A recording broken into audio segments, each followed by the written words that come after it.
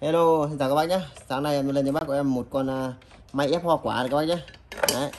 Máy ép hoa quả con này còn nguyên cốc này. Của thằng à, uh, Nationa các bác nhé đây. Máy ép quả của Nationa này mã hiệu đây. MG này 730G nhá. Đấy. Con này thích thì nó lại màu xanh lá cây, xanh lá chuối gì đấy. Đây. Con này điện 100V nhá. Nó, nó cái công suất cái công suất của nó là 160W này đây con hàng này có hàng dấu dây nhé đây cho em năm đời năm năm nằm ở đây. Đời của nó thì cái thằng na tiêu na thì đời nó hay nó giống như đời nó hay in đây luôn nhá năm bao nhiêu đây. Giống như bọn của, của cái quạt này các bạn à con này sinh năm 1980 các bác nhé này 1980 không biết là các bác có nhìn nó có lấy nét được không. Khá là cổ nhá. Đấy rồi rồi. Cổ thì cổ nhưng mà con xem là con trọng hoạt động hoạt động như, như thế nào đây, hai bên của nó còn nguyên nhé đó. Đây, nắp đây các bác này. Cái ờ, đẩy hoa quả nó còn nguyên ok nhé đó, còn đây là cái lưỡi của nó đây.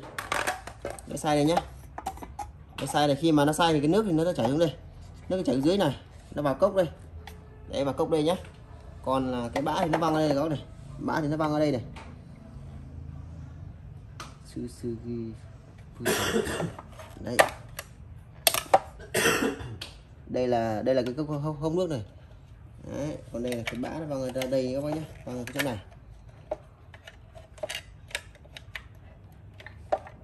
Để nó lắp lại.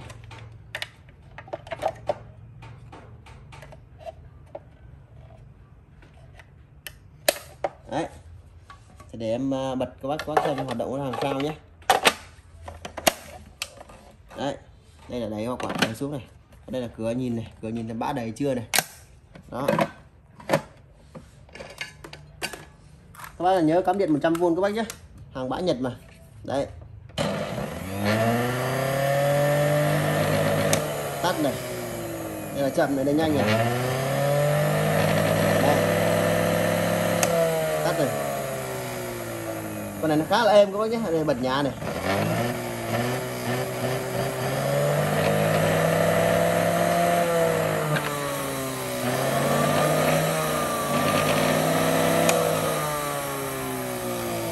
Đấy. Để đem ép hoa quả này, nó khá là êm. Đấy, thì con này em bán với giá là một triệu hai các bác nhé một triệu hai. Chuyển khoản thì em sẽ bao ship cho các bác. Đấy, bác nào chốt hàng thì bác vui lòng liên hệ với em nhé 0983 329 755 cho em với. Bác xem clip của em cho em xin một like chia sẻ các bác nhé bác nào mà chưa đăng kênh cho em xin đăng ký kênh. Em chào các bác nhé